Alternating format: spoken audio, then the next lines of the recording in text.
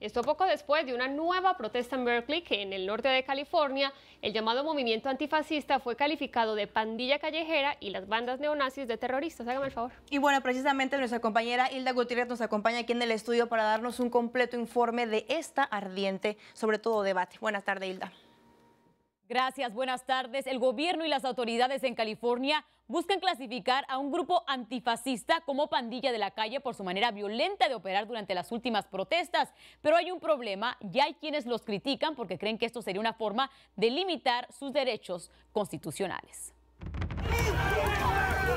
Antifa. Así se hace llamar este grupo antifascista de izquierda que se opone al fascismo y a otras formas de opresión como el racismo, sexismo y homofobia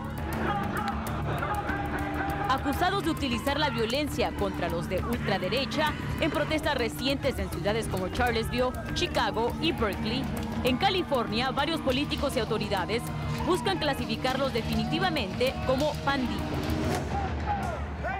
El fin de etiquetar a este grupo y a otros grupos similares ayudaría a controlarlos y a condenarlos bajo la ley. Podrían recibir de 2 a 15 años en prisión si sus actividades son definidas como operaciones pandilleriles. Pero para ser clasificados como pandilla de la calle, estos tendrían que cumplir con ciertos patrones de actividad criminal que comprueben que sean esenciales a su existencia y no simples actos de desobediencia civil. Algunos expertos en grupos delictivos Dicen que etiquetar a estos grupos como pandillas callejeras podría ser visto como un castigo a sus preferencias políticas, ya que ellos se consideran ser un movimiento por su manera de pensar y no como una organización estructurada.